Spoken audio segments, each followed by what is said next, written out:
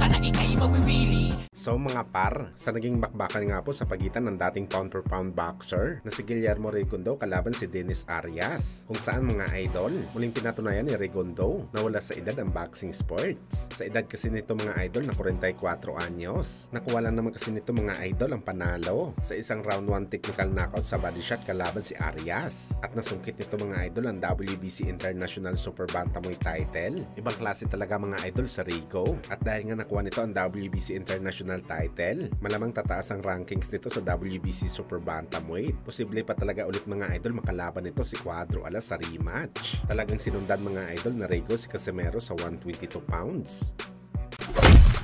Samantala speaking kay Casamero mga idol, isang magandang balita naman po ang dumating sa angas ng Pinas. Dahil sa bagong updated po na rankings ng International Boxing Federation, umangat naman po ang angas ng Pinas sa panibagong rankings. Kung saan dati nasa 13 spot si Alas. Ngayon po mga idol nakapasok na ito sa top 10. Malamang mga boss na recognize ng IBF ang panalo ng General Casamero sa naging laban nito kontra kay Saul Sanchez. Naninakot niyang Mexican-American fighter sa round 1 ng kanilang bakbakan noong October. Bukod kay Cuadro Alas mga idol, nasa top contender din ng ating mga pambato sa Super Bantamweight na sina Marlon Tapales na sa pang tatlong pwesto at si Wonderboy na sa pang pito naman na rankings. At sa mga nagtatanong naman mga idol, kung posible ba maglaban-laban ng mga pambato natin, eh pwedeng pwede talaga mga idol. At ang pinakamagandang laban na makukuha nila dito ay isang title eliminator fight sa IBF. May dalawang eliminator fight sa IBF mga idol. Ang mananalo papasok sa final eliminator at ang magtatagumpay dito, siya naman ang kilalanin na mandatory contender sa IBF title ni Naoya Inoue. Kaya abangan natin to mga idol.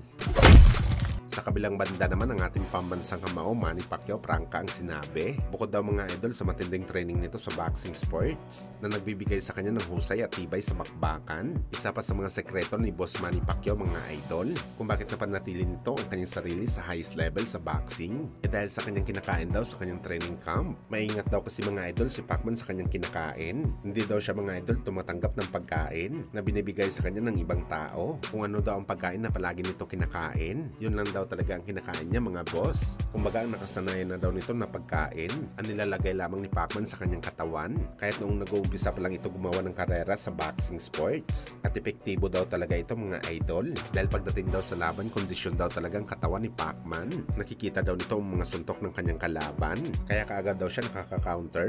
In short mga idol, nakakapag-perform talaga si Pacman ng magandang galawan basta sariling pagkain ito ang kanyang kinakain. Bigas, bibigyan nila akong bagong pagkain, hindi. Yung niluluto ko lang, kung ano yung kinakain ko for the Tinola. past two weeks. Di ba? Puro Sa tinola. lahat, yun ang kinakain ko. Pagdating sa laban, kung anong gustong gawin, ah, counter agad, nagagawa ko.